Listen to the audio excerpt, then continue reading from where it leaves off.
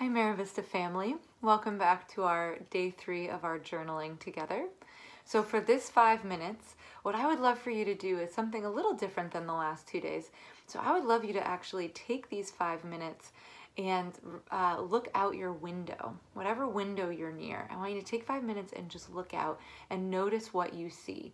Um, notice the way the light comes through. So as I've been sitting here, I've noticed the way the light shines through and reflects on some of the things inside of my house. I've noticed the trees moving. I've noticed a cat sitting in the sun in my neighbor's yard. Um, all of a sudden the garbage truck came by.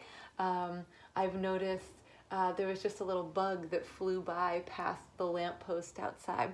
So this is really an exercise in presence, really being present and just observing what happens for the for five minutes um, and then to write down anything that you notice anything that you see any sounds that you hear just a great exercise to bring you back to the moment. So feel free to write that. Make any comments below as usual. Anything that you notice anything that you see anything you observed how it made you feel. Um, always just good things to reflect on. And the garbage truck is literally right outside my door right now speaking of observing things. So sorry if it's a little loud but I hope your observing is a little bit quieter